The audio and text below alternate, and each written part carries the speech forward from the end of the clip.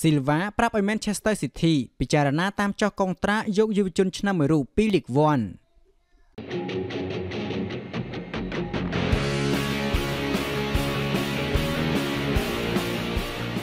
កីឡាករប៉ូទុយហ្គាល់ Silva បានទម្លាយឲ្យដឹងថាលោកនឹងមានការពេញចិត្តជាខ្លាំងប្រសិនបើក្លឹប Manchester City អាចចូលខ្លួនប្រជែងទិញយកកីឡាករ Kylian Mbappe នៅពេលទីផ្សារដោះដូរកីឡាកររដូវរងាចាប់ផ្ដើមបើកទ្វារ ប្រាប់ទៅកាន់លើឃ្វីមកីឡាករវ័យ26ឆ្នាំនិយាយថា Kylian Mbappe គឺជាកីឡាករឆ្នើមមួយរូបតាំងពីគេលេងនៅ Monaco មកម្លេះហើយអំឡុងពេលដែលខ្ញុំនៅទីនោះពួកយើងក៏ជាមិត្តភ័ក្តិនឹងគ្នាថែមទៀតផង។ប្រសិនបើ Manchester City អាចនាំយករូបគេមកទីនេះបាន វាប្រកាសជារឿងដ៏ល្អបំផុតមួយ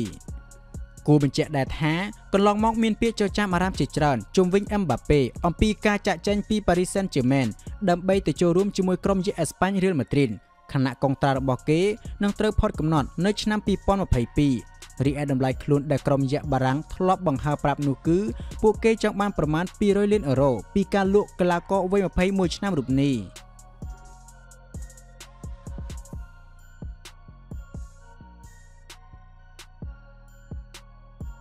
ជម្រើស11រូបដំបូងដែលអាចនឹងយកមកប្រើនៅក្នុងជំនួបបាសេឡូណាជាមួយនឹង Juventus ការប្រកួតដ៏អស្ចារ្យរវាងក្រុម UFC Barcelona និងក្រុមសេបង់កង់ Juventus នៅក្នុងវគ្គចែកពូល UCL នឹងត្រូវប្រព្រឹត្តទៅនារំលងអាទិត្យថ្ងៃពុធឈានចូលថ្ងៃប្រហោះវេលាម៉ោង3ទៀបភ្លឺនៅកីឡដ្ឋាន Juventus Stadium មុននឹងឈានទៅដល់ការប្រកួតខាងលើខ្ញុំបាទសូមរំលឹកមកថាក្រុមទាំងពីរធ្លាប់បានប៉ះគ្នាសរុបទាំងអស់14ប្រកួតខណៈបាសេឡូណាឈ្នះ5ប្រកួតចាញ់5ប្រកួតនិងស្មើ4ប្រកួត ក្នុងចំណោម14ប្រកួតខាងលើមាន9ប្រកួត គឺជាជំនួបនៅក្នុងព្រឹត្តិការណ៍ UCL ដែលក្នុងនោះក្រុមនៅអេស្ប៉ាញឈ្នះ3ប្រកួតចាញ់2ប្រកួតនិងស្មើ4ប្រកួតដោយឡែកសម្រាប់ជម្រើស11រូបសម្រាប់ក្រុមបាសេឡូណាត្រៀមប្រកួតនៅថ្ងៃខាងមុខនេះមានដូចជាកីឡាករ Griezmann កីឡាករ Fati កីឡាករ Messi កីឡាករ Dembele កីឡាករ P Jennings កីឡាករ De Jong កីឡាករ Alba កីឡាករ Lenglen កីឡាករ Araujo កីឡាករ De និងកីឡាករ Neto រីឯកីឡាករសំខាន់សំខាន់ដូចជា Gerard Piqué ត្រូវអវត្តមានដោយសារតែជាប់ពិន័យខណៈ Philippe Coutinho មិនអាចចូលលេងដោយសារបញ្ហារបួសសាច់ដុំនិង Marc Andre ter Stegen និង Samuel Umtiti មានបញ្ហាផ្នែកកាយសម្បទាសម្រាប់ជម្រើស11រូបនៃក្រុមសេបកងជូវិនទូវិញអាចនឹងត្រូវដាក់ឲ្យលេងមានដូចជាកីឡាករ Morata កីឡាករ Dybala កីឡាករ Ramsey កីឡាករ Rabon កីឡាករ Bentancur កីឡាករ Cuadrado កីឡាករ Cheiza កីឡាករ Danilo កីឡាករ Bonasi កីឡាករ Demiral និងកីឡាករ Seni រីឯកីឡាករដែលអវត្តមានគឺ Alexandro ព្រោះបញ្ហារបួសសាច់ដុំកំភ្លើ ដោយឡែកមានកីឡាករ3រូបដែលអាចនឹងបង្ហាញខ្លួនក្នុងការប្រកួតខាងលើត្បិតបច្ចុប្បន្នអ្នកទាំង3កំពុងតែព្យាបាលរបួសខណៈកីឡាករ3រូបនោះគឺ Cristiano Ronaldo តាមដានរោគសញ្ញាវីរុសកូវីដ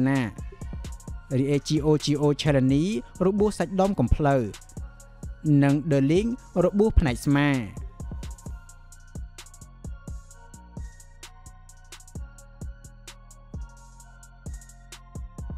ណាវីលនិយាយថាសានពេលនេះកំពុងឈរនៅកម្រិតដូចគ្នាជាមួយកីឡាករ3រូបនេះដែរក្នុងនាមជាកីឡាករឆ្នាំបំផុតនៅ Premier League វរៈបរិះរបស់ក្រុមបិសាចក្រហម Manchester United លោក Gary Neville ជឿជាក់ថាតារាឆ្នាំរបស់ក្លឹប Tottenham កីឡាករ Hong Min San កំពុងឈរនៅកម្រិតជាមួយខ្សែបម្រើ Mohamed Salah នាមជាកីឡាករឆ្នាំជាងគេនៅក្របខ័ណ្ឌ Premier League ជាក់ស្ដែងកីឡាករសញ្ជាតិកូរ៉េខាងត្បូងរូបនេះបានក្លាយជាវីរបុរសសម្រាប់ក្រុមស្ពឺសាជាថ្មីម្ដងទៀតនៅឯទឹកដីធូមួដើម្បីជួយឲ្យក្រុមរបស់ខ្លួនទទួលបានជ័យជំនះដោយលទ្ធផល1ទល់នឹង0ទៅលើក្រុម Burnley ហើយថែមទាំងបានផ្ដល់ឲ្យក្រុមរបស់លោកជូម៉ូរីញ៉ូឡើងមកឈរនៅថ្នាក់លេខ5ក្នុងតារាងផងដែរយ៉ាងណាមិញវាគឺជាគ្រាប់បាល់ទី8ហើយរបស់សាននៅរដូវកាលនេះហើយក្នុងនោះ7គ្រាប់គឺទទួលបានអេស៊ីដោយកីឡាករ Harry Kane ទាំងអស់ មិនតែប៉ុណ្ណោះស្តាននៅមានរយៈពេល3ឆ្នាំទៀតនៅក្នុងកិច្ចសន្យាបច្ចុប្បន្នរបស់គេខណៈពេលដែលគ្រូបង្វឹកលោកម៉ូរីញ៉ូបានសារភាពថាប្រធានក្លឹបលោក Daniel Levy កំពុងតែធ្វើការទៅលើការពង្រឹងចំពោះកិច្ចសន្យារបស់ខ្សែប្រយុទ្ធរូបនេះបន្ថែមទៀតរួចទៅហើយហើយយ៉ាងណាមិញជើងចាស់ណាវីលជឿជាថា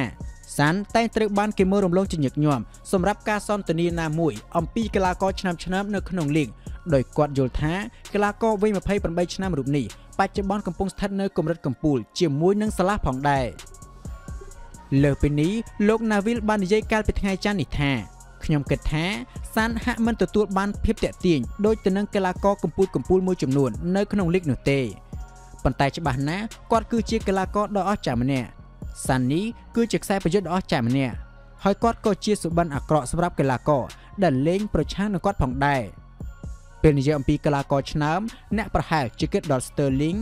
Man និង Salah ប៉ុន្តែសាន់ក៏នៅទីនោះជាមួយពួកគេផងដែរ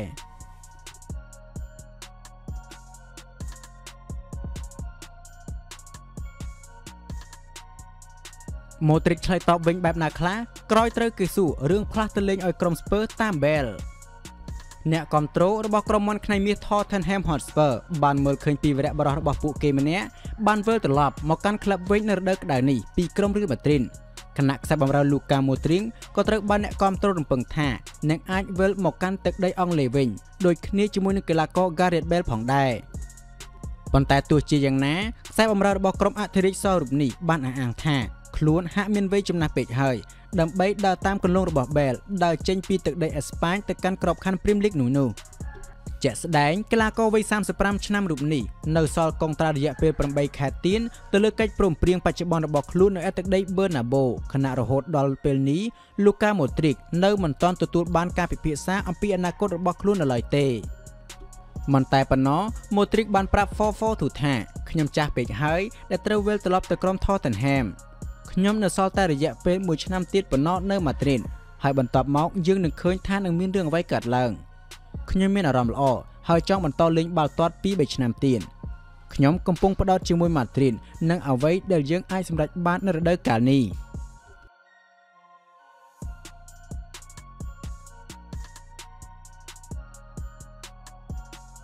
អាលីហ្សុនប្រាប់ពីចំណុចពិសេសមួយដែលអាចធ្វើឲ្យគេឆាប់ជាពីរបួសនិងវិលមកជួយក្រុមបានវិញ។ Alizon ហាក់មិនបានលាក់បាំងអ្វីនោះទេចំពោះវិធីដែលអាចធ្វើឲ្យរូបគេជាសះស្បើយពីរបួសបានយ៉ាងឆាប់រហ័សនិងអាចវិលត្រឡប់មកជួយក្រុមហងក្រហម Liverpool បានវិញជាក់ស្ដែងនៅចាំទីរូបនេះបានរងរបួសស្មារតីយ៉ាងធ្ងន់ធ្ងរមួយអបឡុងការវឹកហាន់ហើយត្រូវបានគេប្រាប់ថានឹងអាចខកខានការប្រកួតរយៈពេល6សប្តាហ៍ដែលវាគឺជាពេលវេលាដ៏លំបាកមួយសម្រាប់ក្រុមហងក្រហម Liverpool ខណៈពេលដែលពួកគេក៏ត្រូវអវត្តមានរបស់ខ្សែការពារឆ្នាំ Virgil van Dijk ផងដែរ ប៉ុន្តែទោះជាយ៉ាងណា នៅពេលនេះ Alisson កំពុងត្រៀមខ្លួនរួចជាស្រេចដើម្បីចូលរួមការប្រកួតពានរង្វាន់នៅក្របខ័ណ្ឌ Champions League ជាមួយនឹងក្រុម Midtjylland ដោយរូបគេអាចវិលចូលទីលានវិញលឿនជាងគេរំពឹងទុកមួយខែខណៈអ្នកចាំទីសញ្ជាតិប្រេស៊ីលរូបនេះក៏បានបង្ហើបប្រាប់ពីវិធី ដែលជួយឲ្យគេជាសះស្បើយបានយ៉ាងឆាប់រហ័សបែបនេះផងដែរមិនតែប៉ុណ្ណោះ Alizon និយាយថានៅពេលវិជ្ជបណ្ឌិតនិយាយថា វានឹងត្រូវមានរយៈពេល4ទៅ6សប្តាហ៍ដែលត្រូវសម្រាប់ពីទីលាន តែខ្ញុំបានប្រាប់ទៅកាន់គាត់វិញថាតើខ្ញុំអាចសម្រាប់តែ2ទៅ3សប្តាហ៍បានដែរឬទេពេលនោះគាត់យល់ព្រមនឹងខ្ញុំគេបន្តថាខ្ញុំមានអ្នកថែទាំជាច្រើនក្នុងការជួយបង្កើនល្បឿននៃការជាសះស្បើយពីរបួសរបស់ខ្ញុំហើយខ្ញុំត្រូវអរគុណដល់ពួកគាត់និងក្រុមបុគ្គលិកកាយសម្បទារួមទាំងគ្រូពេទ្យនិងគ្រូបង្វឹករបស់ខ្ញុំផងដែរ។